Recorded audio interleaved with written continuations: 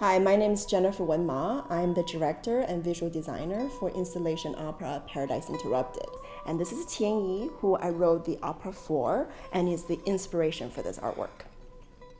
What I'm about to sing is the garden scene written by Huang Ruo, the contemporary composer. And uh, I'm going to sing it with my pipa player, Zhou